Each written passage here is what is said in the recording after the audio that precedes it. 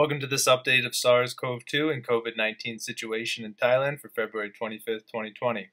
Lots been happening around the world, so let's get right into it. We'll look at how testing methods might affect outcomes in the results. We'll consider the possibility that climate and season might play a role in the spread of the virus, and we'll look at the economic impact of the outbreak, which might be even more significant than the health fallout. So let's look at the numbers in Thailand. The Ministry of Public Health reports daily statistics, including the total number of people that they've put under investigation. These PUIs are people that have presented to hospital with symptoms consistent with COVID 19, such as fever, cough, or pneumonia. The majority of these people are going to be people with differential diagnoses, such as influenza. In other words, most PUIs are not positive for COVID 19. We know this from earlier reporting where approximately 20% of PUIs tested positive in the first three weeks of the outbreak in Thailand. What we're looking at here is cumulative totals. So in orange, we see that since early January, nearly uh, 1,600 people have met the criteria to be a person under investigation. There's been a sharp rise in PUIs in the past week, with over 100 people being added daily. On the 16th, we had about 800 persons under investigation. Now we have nearly 1,600 here on the 24th. This has been a result of an increased effort to identify PUIs and screen across broader areas of Thailand. Previously, only patients with travel history to China and a small subset of provinces were being screened, while now around eight high risk provinces are being screened, and travelers with a history to countries including Singapore, South Korea, and Japan are now added to the list. Looking at the current people in hospital, we see that over 400 people under investigation are currently hospitalized for the condition.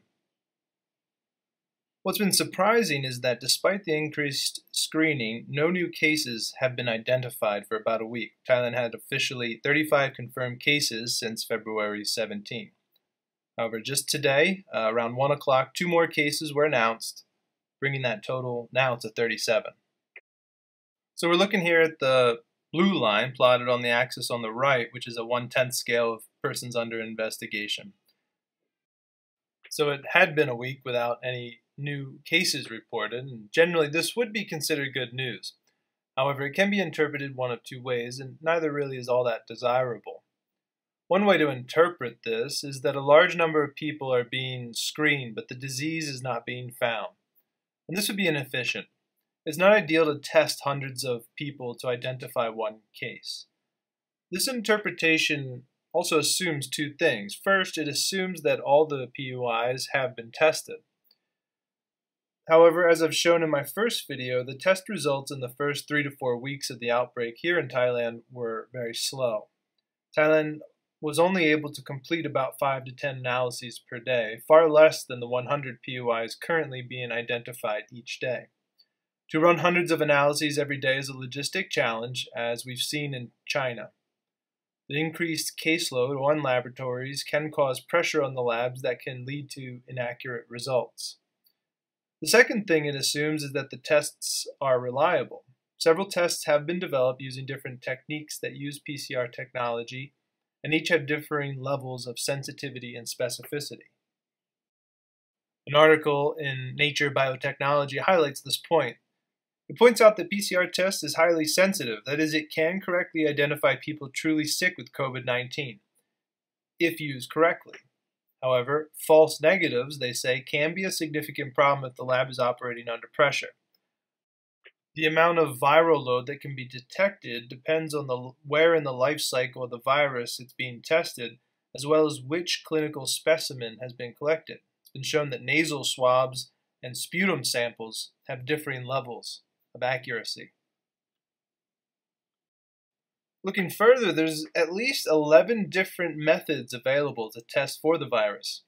Now, this table here comes from the same article in Nature Biotechnology. We don't know what tests are being used by labs in Thailand. We don't know what percentage of PUIs have actually undergone testing. Therefore, we have to consider the possibility that false negatives may be occurring. And if you go back to my first video, you'll see that Thailand is an outlier for the number of detected cases relative to what's expected. Now, the second way we can interpret this data is that the data is unreliable. Um, this could be because many tests are pending, If the laboratory testing capacity is not enough, we could see a significant delay in test results. Or it could mean that due to methodological issues, we are receiving a higher than normal amount of false positives.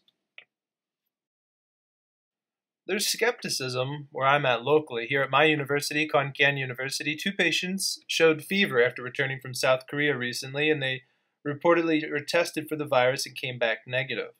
However, many people have expressed doubt in the certainty of the results based on the experiences in China and the testing issues that I've mentioned. So we don't know. This group that returned from South Korea will self isolate for 14 days, which I think is a smart and cautious thing to do. I do hope, though, that the test results are correct, and in fact that Thailand has so far avoided community spreading of the virus. However, there's one more idea that's been rattling around in my head, and I was thinking about where the outbreaks were spreading quickly, you know, China, Japan, South Korea, Iran, and Italy. And I thought about where local community transmission has been more muted, places like Thailand, the Philippines, and if you believe it, also Cambodia and Indonesia. Even Singapore, which has seen a fairly high number of cases, uh, currently around 90, uh, those have mostly been cases directly linked to China and in one cluster at a church, presumably indoors.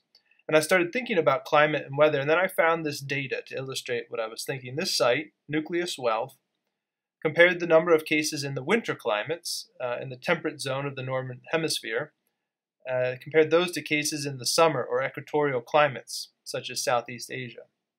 You see that clearly there are fewer cases in the warmer climates. Now, I don't want to create a false sense of security because we should also consider that many of the countries in the yellow group have limited abilities for disease surveillance. But it's certainly a trend worth considering. Now, while we don't have any studies on the survival of SARS CoV 2 virus in the environment, we can use surrogate viruses what we see is that at lower temperatures and lower relative humidity, conditions that you would find in winter conditions, the surrogate viruses were able to persist on surfaces for longer periods of time and they have slower inactivation.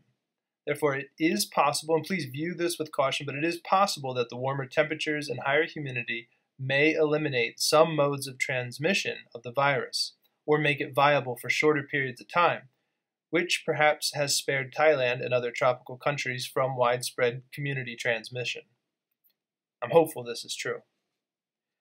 Finally, let's quickly look at the economic impact. Yesterday, we saw global equities sell off with major indices around the world recording 3 to 4% drops. Locally in Thailand, the SET index dropped about 2.5%, and today it's down another 3 quarters of a percent. The Thai economy, which already faced significant headwinds, now has to deal with a big drop in tourism, which makes up for a big portion of the economy. For the first 10 days of February, international tourist arrivals fell by 43% year over year, it was reported yesterday. If you live in Thailand, let me know what you're seeing. Post your comments below. If you're planning to travel to Thailand, post your questions as well. Please subscribe to my channel for future updates and check out other videos in this series. Thanks for watching and see you next time.